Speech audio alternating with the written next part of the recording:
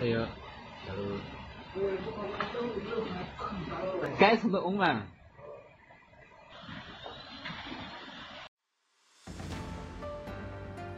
From space, it looks like the Earth is tearing itself apart. Three Chinese cities are cracking open, inching wider every single day. Satellite images don't lie. What began as faint lines across the ground are now jagged scars, slicing through streets farmland, and entire neighborhoods. Houses are split into two, roads drop away into sudden cliffs, farmlands vanish under yawning chasms, and it's not slowing down, it's speeding up. Right now, people are living in places that may not exist tomorrow, because beneath their feet the ground is moving, and it will not stop. Calm before the break. Not long ago, life in these cities followed the same rhythm it always had. Street vendors set up their stalls before sunrise, filling the air with the smell of steamed buns, grilled skewers, and fresh bread. Children, their backpacks bouncing, raced each other to school, while bicycles weaved between them. Morning markets bustled with voices bargaining over vegetables, spices, and fish pulled fresh from the river. From the ground, it was a picture of stability. Nothing unusual, nothing alarming. But far above, from the silent watch of satellites, a different story was taking shape. Images captured over weeks revealed patterns no one on the ground could see. Thin, pale lines began to crisscross the city like faint scratches on stone. They ran through roads, across fields, even under buildings. To the untrained eye, they meant nothing, but to geologists, they were the early signs of something serious. On the ground, there were hints, small ones, that something wasn't quite right. A brick wall leaning just enough for a passerby to notice. A manhole cover that no longer sat flush with the pavement, shifted just a few centimeters out of place. Hairline cracks snaking along the edges of roads, widening imperceptibly each day. Most people shrugged them off as the ordinary wear and tear of an old city. Life carried on. The markets stayed full and the streets stayed busy. No one realized they were walking over a city that was, piece by piece, pulling itself apart. The signs were there, but they were quiet, too quiet, until the satellites made them impossible to ignore. Disaster in slow motion. The evidence came in black and white, satellite images taken just weeks apart. In week one, the fractures were thin lines, barely visible against the earth. By week three, they had widened into dark, jagged seams, cutting deep into the fabric of the cities. What once looked like minor imperfections now resembled open wounds, and these wounds were spreading. Entire streets had shifted. Roads that were once perfectly straight now curved sharply, bending like warped steel. Sidewalks buckled in waves, buildings tilted at unnatural angles, their foundations sliding in opposite directions.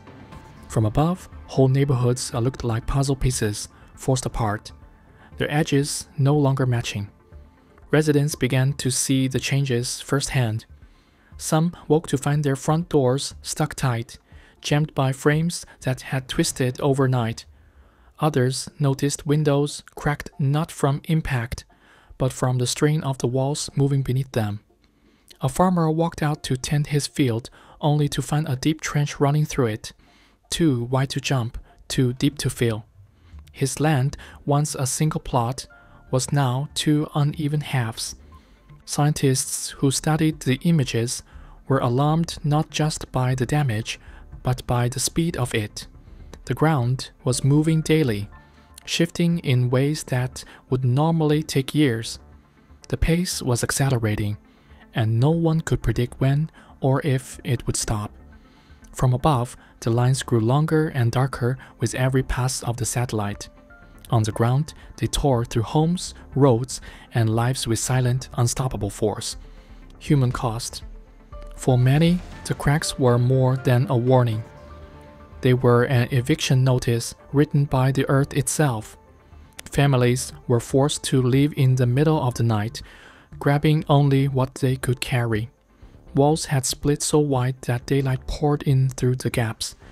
The sound of shifting foundations echoed like distant thunder. Once the ground began to move, staying was no longer an option. In one village, the road in had collapsed entirely, isolating dozens of elderly residents.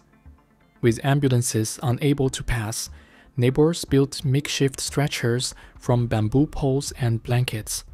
Slowly, they carried people over uneven ground to safety. Each trip was dangerous. The cracks could open further at any moment, but leaving them behind wasn't an option. In the city, schools were hit too. Parents rushed to pull their children from classrooms after parts of the buildings gave way. Desks sat abandoned, papers scattered in rooms where the floor had dropped several centimeters. Teachers stood outside, counting heads, their voices shaking as they told parents not to return. Everywhere, the signs of sudden departure told their own stories. Toys left on beds, photographs still hanging on tilted walls, wedding dresses hanging in closets that had split down the middle. The earth had not just taken buildings, it had taken memories. It's like the earth is swallowing everything we built, one man sat staring at the place where his house used to stand. His voice was flat, but his hands trembled. For him and for thousands of others, the cracks were not just in the ground, they were in their lives. Official response As the fractures grew, the government declared multiple high risk zones. Entire neighborhoods were ordered to evacuate, with buses and trucks sent to move people to safer areas. Temporary shelters sprang up in schools, sports halls, and even unfinished construction sites.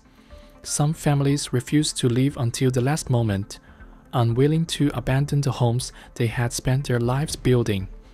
Heavy machinery was rolled in to stabilize slopes, pour concrete into gaps, and shore up weakened roads. In certain areas, huge steel plates were driven into the ground in an attempt to keep it from shifting further. But in several work sites, crews were forced to retreat. New cracks opened beneath their equipment, swallowing fresh asphalt and making repairs impossible. The official explanation was straightforward.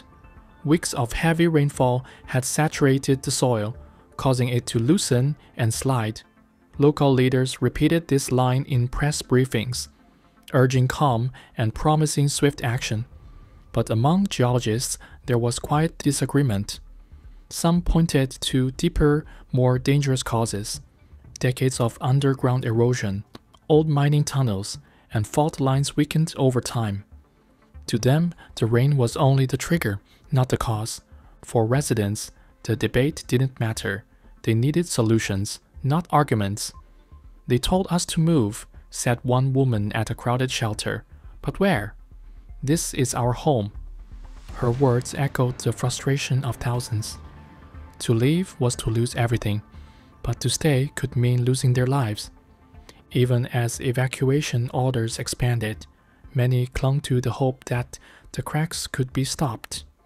But the ground had made its decision, and it was still moving. The bigger picture. From high above, the satellite images are more than photographs. They are warning sirens. What's happening in these three cities could be a preview of what might come elsewhere. Experts are studying the patterns, mapping the fractures, and comparing them to historic events. In many past cases, the same kind of ground shifts were the precursors to devastating landslides, massive sinkholes, and even the total collapse of entire urban districts. The danger isn't just in the cracks themselves, it's in what they led to. A sudden landslide could bury homes in seconds. A sinkhole could swallow an entire apartment building before anyone can escape. These events have happened before, in other countries, often with little warning, and in many of those cases, satellite imagery had detected early signs, just like it has here.